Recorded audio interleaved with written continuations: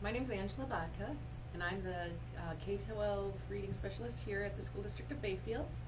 And my name is Janine Johannek, I'm the second grade teacher at Bayfield. And we were asked to just make a little uh, video today to just discuss how we've been using the Soaring Grant to help with our K-5 classroom reading initiative.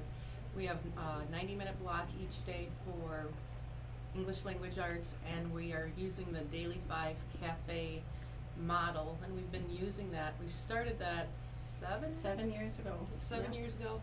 And for the past three years, uh, Janine and I have been uh, doing workshops on the Daily Five and the cafe. And do you want to just talk a little bit about, because Janine's been doing Daily Five. Right, I do the daily five, and whenever we get new teachers in, we, I train the teachers in the daily five.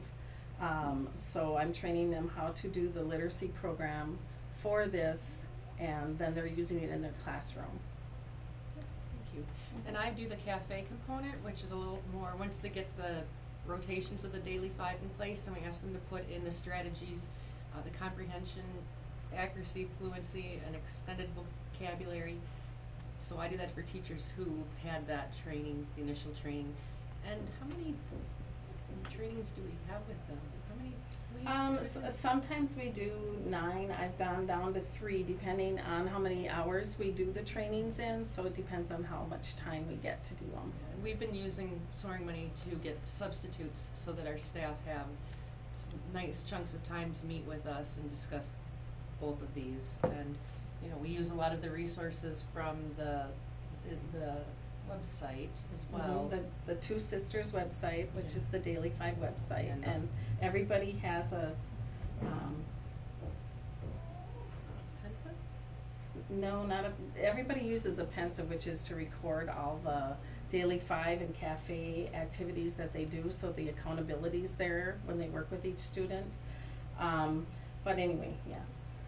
Yes. So, yeah, I, I think that it's been very successful. And Mhm. every teacher, K five, is currently using the Daily Five model. And uh, the videos that you've seen demonstrate it in action and in two of our classrooms, so, And the growth we've seen has been tremendous. Yeah.